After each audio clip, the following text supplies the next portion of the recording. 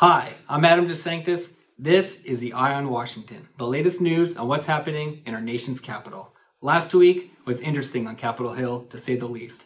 In what was somewhat surprising but a welcoming development, the U.S. House and Senate passed a continuing resolution that averted a government shutdown and extended fiscal year 2023 funding through November 17th. President Biden signed the bill right before midnight on Saturday evening, ensuring that all the various government supported segments of the mortgage market, including HUD, USDA, and the VA, would continue to operate uninterrupted. The passed legislation included $16 billion in disaster aid and an extension of the National Flood Insurance Program until mid November, something we had advocated strongly for in recent weeks.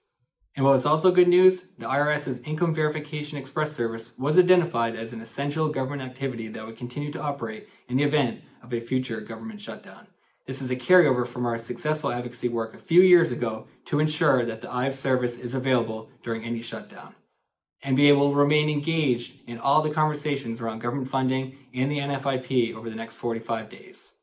And finally, have you seen the star-studded lineup of entertainers and experts that we have lined up for MBA Annual? It's hard to believe that now we're only two weeks away. Visit mba.org slash annual to register today. We hope you join us in the city of brotherly love.